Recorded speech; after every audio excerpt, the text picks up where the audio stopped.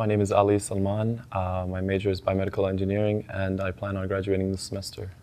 Well, I was nominated by one of my peers, um, and basically this award highlights uh, multicultural enrichment in that, you know, the advocacy of um, accepting all cultures and integrating cultures. Uh, and this is something that VCU prides itself upon.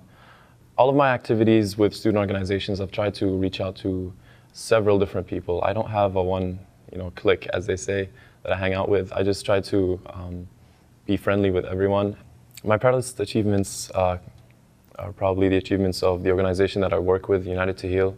Um, I joined as a freshman, and uh, my role was at the beginning to just collect donations of medical supplies.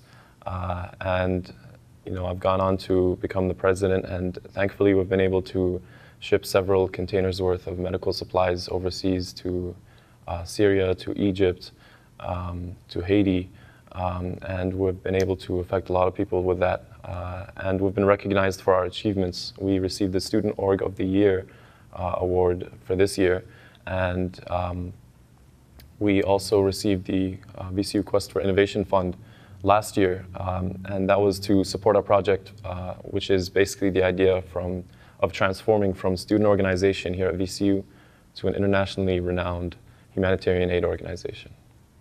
I plan on attending the VCU School of Medicine in the fall.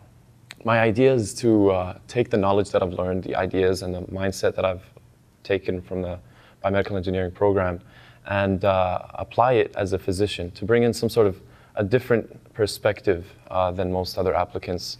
Um, and my idea, my dream is to somehow to someday uh, become a surgeon uh, that you know uh, works in the field, but at the same time uh, has the ability and the mindset to identify weakness in a certain device or a system, and come up with a solution or a more effective or more uh, a cheaper, for example, solution, which could maybe be used even in third world countries.